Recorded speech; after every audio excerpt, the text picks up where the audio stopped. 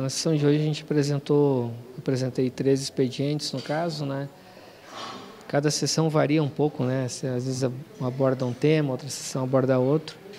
Nessa sessão a, foram duas cobranças, duas, uma indicação da questão da calçada do PSF 3 lá na Vila Morena, uma, uma queixa de alguns munícipes que precisa fazer um reparo quando, quando chegam lá, principalmente se é um cadeirante ou alguém que tem uma dificuldade de locomoção, então para fazer um reparo lá na calçada de entrada. Né? São coisas simples, mas a gente é cobrado e é nosso papel também expor. Né?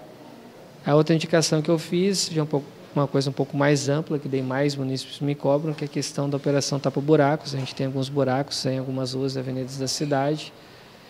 E a preocupação é que o período de chuva aí tá, está chegando, né? então a gente sabe que daí a, a situação fica pior, né? os buracos aumentam, a dificuldade fica maior e não tem mais como fazer aquela manutenção, tem que esperar passar o período de chuva, então a gente pede à gestão uma atenção especial que procure da forma mais rápida atender essa necessidade. E o terceiro expediente foi um requerimento que eu fiz para, para o secretário de Meio Ambiente, que é uma preocupação nossa também da questão da preservação das nossas nascentes, dos mananciais de água, né?